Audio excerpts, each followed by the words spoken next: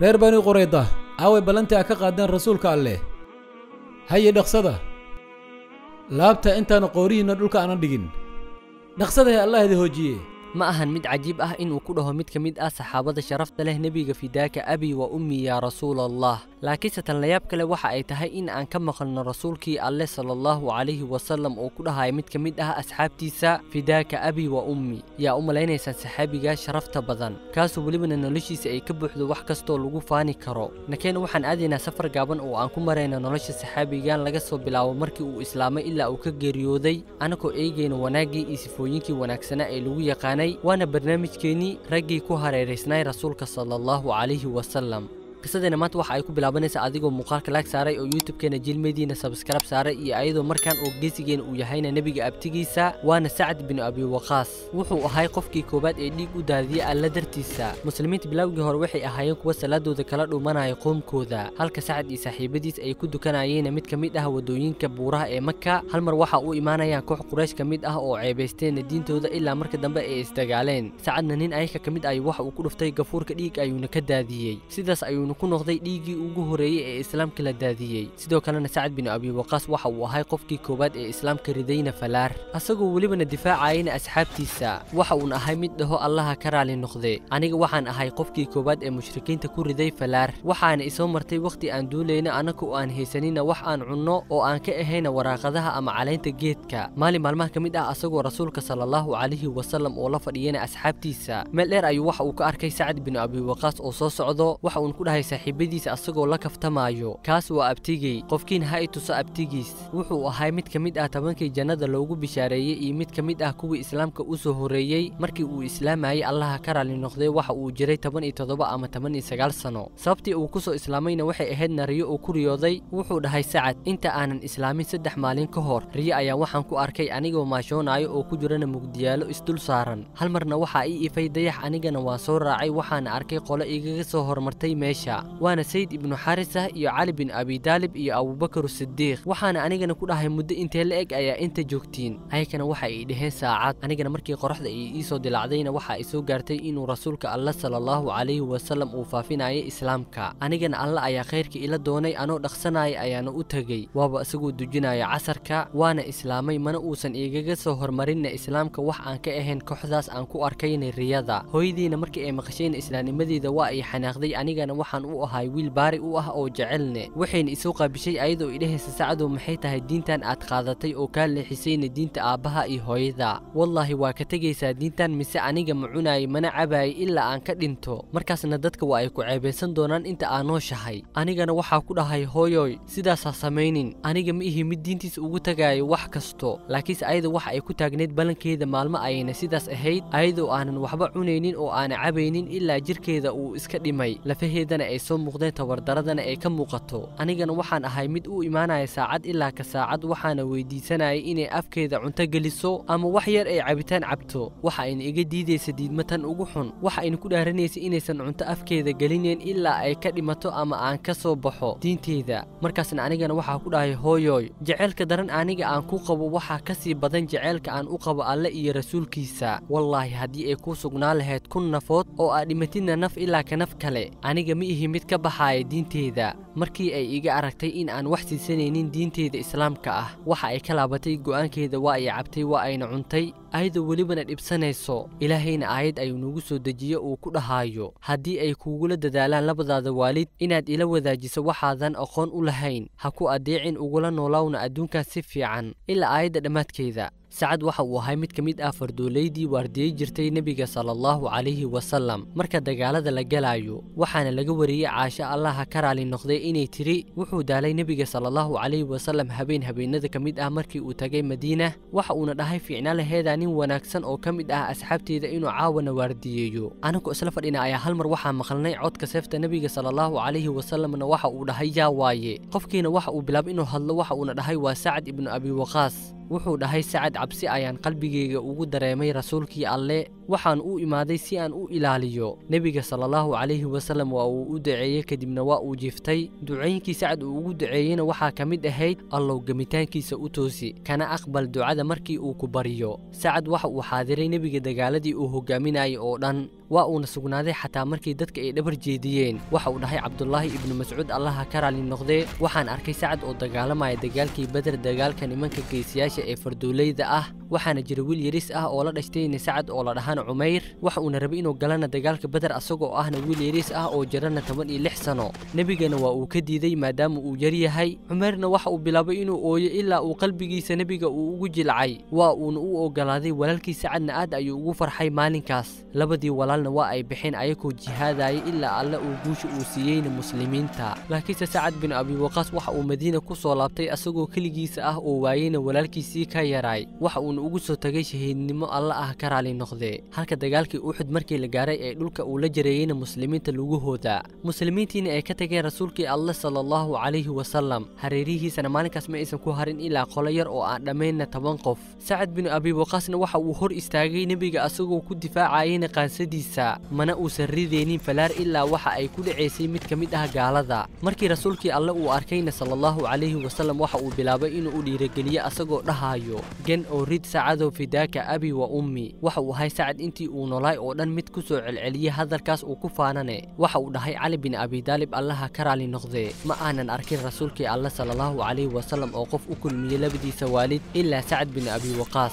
Waxa uuna ku dhahay dagaalkii uxud rid sacadow hooyada iyo aabahii ha lagugu furtee. Markii la gaaray dagaalkii khandaq waxa uu sacad aaday yahuudda kadib markii ay ugu baxeen ballanka rasuulka si uu u edbiyo wakhtiga waa uu soconaya maalmahana waa ay isgedinayaan ilaa markii dambe uu ka dhintayna rasuulkii alle. Muslimiintiina waxa ay ku sigteen inay iskhilaafaan. Kuwo badan ayaana diinta ka baxay. Abuubakarna waxa uu sacad u dirayna inuu la dagaalamo murtadiinta. Sidoo kalena sacad waxa uu ku jiray saxaabadii abuubakar uu ugu tegayna madiina markii uu asaga dagaalka aaday. Ilaa marka dambe ay ka takhalluseen jasiiratul carab oo dhanna ay ku soo noqotayna islaamka. Markii amiirulmu'miniin cumar binu khadaab uu qabsadayna khilaafada waxa uu go'aansaday inuu dagaal ku qaadana boqortooyada furus. Dagaalkaas uu burburinayana boqortooyadooda oona ka siibaayeen xididaha sanamcaabudidda dhulka korkiisa. Waxa uuna isku keenay ciidamadii iyo hubkii iyo fardihii iyo qof kastoo ra'yi u saaxiib ah. Markii ciidamadii ay dhammaystirmeenna cumar waxa uu bilaabay inuu la tashtana dadka ra'yiga u saaxiibka ah si ay u doortaan qofkii hogaamin lahaayna ciidankan. Hal carab ayna waxa ay ku wada dhaheen waxaa u dhiibtaa libaaxiina sacad ibnu abi waqaas. Cumarna waa uu u yeeray waxa uuna u dhiibay calanka. Intaas kadibna waxa uu bilaabay inuu la dardaarmo asagoo ku dhahayo sacadow alle yuusan kaa kedinin in lagu dhaho abtiga rasuulka waaye iyo saaxiibkii rasuulka. Maxayl alle casa wajal xumaan xumaan kuma tirtiro laakiinse waxa uu ku tirtiraa wanaag. Sacadow alle iyo dadka wax nasab ah ama qabiil ah ma dhex yaalla ilaa daacada. Ee ku taagnaa wixii aa nebiga ka aragtay taas ayaana mudan in lagu daysto. Sacadna waxa uu la tegay ciidankiisii barakaysnaay. Markii uu tagay qaadisiya oo u dhoweydna kuufa